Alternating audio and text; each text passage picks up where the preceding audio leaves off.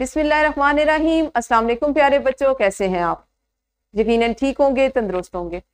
प्यारे बच्चों, जैसा कि आप जानते हैं, हम पढ़ रहे हैं उर्दू और जमात है हमारी अव्वल। यानी आप उर्दू की पहली किताब पढ़ रहे हैं। और इसमें हमने अपने कौन से सबक का आगाज़ करना है आज? हर मौसम सुहाना। आपकी दरसी किताब में यह है सबक नंबर नौ। कौन सा सबक है ये? सबक नंबर नौ और इसका नाम है हर मौसम सुहाना। आपको पता है, इस सबक के मजमू तौर पर हासिलात तालुम कितने आपने इस सबक में कौन कौन सी चीज़ें सीखनी है? जी, आप इसमें मजमू तौर पर सात चीज़ें सीखेंगे। ठीक है? सबसे पहले इससे हम बात करेंगे अपने सबक के इस्लामी नुकता नज़र की। बसमीम कद अफलाहा मन जक्काहा। सूरत शम्स यकीनन वो शख्स कामयाब होगा जिसने अपने नफ्स को गुनाहों से पाक किया। बिल्कुल, ऐसा ही है कि जो शख्स अपने आप को इरादतन कोशिश करके गुनाहों से, बुराइयों से, बुरे कामों से दूर रखता है, उसके लिए इस जहान में भी और अगले जहान में भी कामयाबी। आपको पता है, हम किसको कहते हैं गुनाह? वो चीज़ जो हमारे दिल पे बोझ बनाती है, जैसे झूठ बोलना, किसी की चीज़ बगैर इजाज़त के उठा लेना ये और इस तरह ऊँची आवाज़ से बात करना बदतमीजी करना ये सारी चीज़ें क्या गलत है ना? जब हम ऐसा कोई काम करते हैं गलती से भी करते हैं तो हमारे दिल पे एक बोझ बनता है। हमें उलझन होती रहती है। तो अगर हम अपने आप पे इन, अपने आप को इन चीज़ों से दूर रखेंगे तो हमारी ये वाली ज़िंदगी भी आसान होगी और अगली ज़िंदगी भी आसान होगी। ऐसा ही है ना?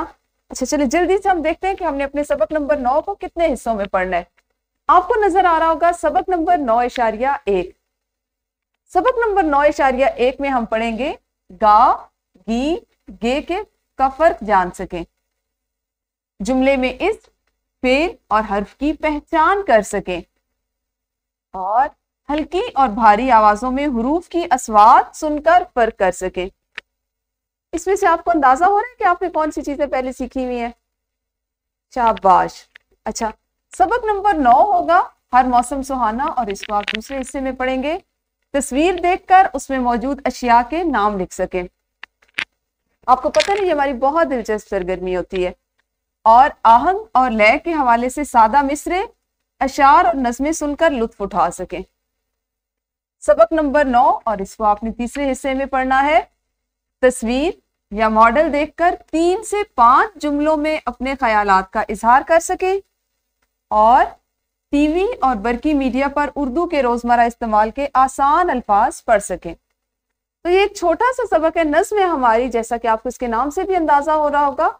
हर मौसम सुहाना। तो हम इसको आने वाले तीन से चार दिनों में नज्म को मुकम्मल करेंगे। इसमें जो हमारा अमली मनसूबा है, उसको भी करेंगे और भी छोटी छोटी सी सरगर्मियाँ करेंगे। तो तकरीबन तीन चार दिन में, एक हफ़्ते में हमने अपने सबक नंबर नौ को मुकम्मल करना है। कल से हम इसका इंशाल्लाह बाकायदा आगाज़ करेंगे। उस वक्त तक आप सब अपना ख्याल रखिए। अल्लाह हाफिज शुक्रिया।